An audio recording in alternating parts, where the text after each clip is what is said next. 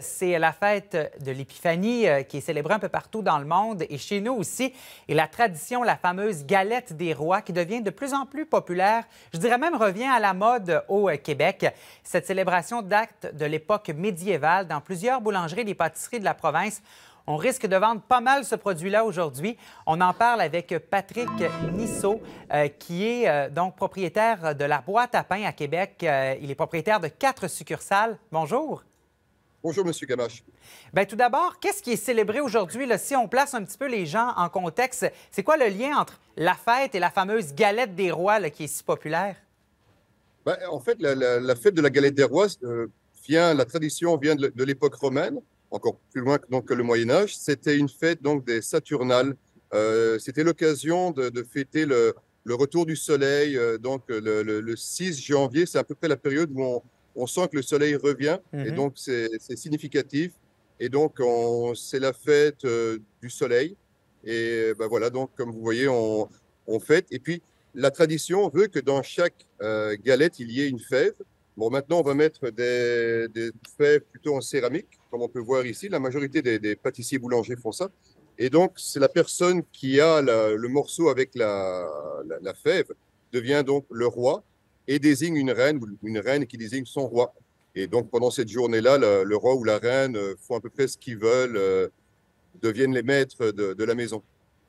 Et est-ce qu'il existe beaucoup de variantes de cette galette des rois? Parce que je sais que vous en concoctez euh, évidemment pour vos clients. Est-ce qu'il y a plusieurs variantes ou on est vraiment traditionnel dans la recette? Non, non, non, non. Il, existe beaucoup de variantes.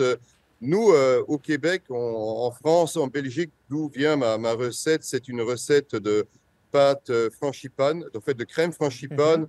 Euh, bah, écoutez, je peux vous montrer. Là, c'est de la crème frangipane au centre, euh, enrobée évidemment dans une, une pâte feuilletée pur beurre de Normandie. Mais ça, c'est la recette belge, française. Mais il y a, chaque pays possède sa, sa, propre recette. Et puis là, je ne pourrais pas vous dire parce qu'il y en a vraiment beaucoup. Donc, nous, ici, au Québec, on mange surtout de la frangipane enrobée de, bah, dans une pâte feuilletée au beurre. Il y a une dizaine d'années, on entendait moins parler de la fête, on va dire comme ça, ici euh, au Québec. Mais là, on sent qu'il y a vraiment un engouement depuis quelques années. Euh, vous, à Québec, dans vos succursales, est-ce que vous constatez qu'il y a un engouement depuis quelques années pour euh, des galettes des rois? Ah ben oui, définitivement. Oh oui, c'est clair. Là. Écoutez, les galettes des rois, on commence à les préparer à partir du mois d'octobre. Oh. Pour vous dire, ça, prend un certain temps pour en faire. Nous, à la boîte à pain, on va en faire environ 1500. Euh, et puis on commence à en vendre à partir de, Noël. Déjà, les gens commencent à les réserver. Et puis, euh, depuis une semaine, on sait environ une cinquantaine de galettes des rois par magasin qui sont écoulées.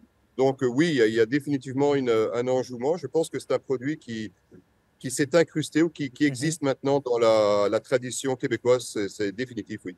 Ça permet d'étirer un petit peu le temps des fêtes. Et là, euh, si vous dites que vous commencez à vous préparer quand même au mois d'octobre, ça prend quand même euh, du temps à concocter cette recette-là. Bien, en, fait, vous, savez, c'est la préparation, c'est une chose.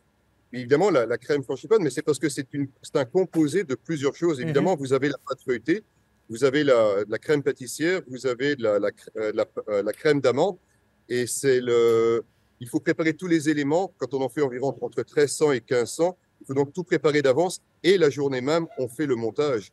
Euh, les, nous, nos, galettes des rois sont cuites la journée même. Donc, euh, le matin, les pâtissiers sont là à 4 heures du matin pour euh, faire le découpage, l'assemblage, la cuisson. Ça prend 50 minutes à cuire. donc, oui, il faut se préparer beaucoup à l'avance. On ne peut pas arriver comme ça puis faire 200, 300 galettes des rois par jour pendant la période. Donc, c'est une fête qui commence, je dirais, les, nos consommateurs, notre, clientèle commence une semaine avant. Mhm. Maintenant, ça va être la grosse journée, puis ça va continuer aussi. Là. On voit que les fêtes s'étirent un tout petit peu dans le temps et ne sont pas concentrées dans une seule journée. Donc, les galettes des rois que vous allez distribuer aujourd'hui, elles ont toutes été réservées, là? Non, non, non, non, ah, non, non, non, non, non, bien sûr, on en a des réservations, mais euh, ce serait un échec d'arriver comme ça, de dire comme ça, écoutez, tout est réservé, on n'en a pas. Nos galettes sont en magasin, on va en avoir euh, suffisamment pour la clientèle, ça, c'est pas un problème, mais il faut se préparer. Vous savez, la, boulangerie, c'est toujours la même chose, hein. c'est un guess, on essaye de répondre à la demande et puis voilà, on, essaye de satisfaire tout le monde. Oui, on, aura la place. Bien, super. Écoutez, on vous souhaite une belle journée et euh, on est déjà jaloux des clients qui vont euh, manger votre galette des rois aujourd'hui. Merci beaucoup d'avoir été avec nous. Merci, M. Boukoum, M. Kadash. À bientôt.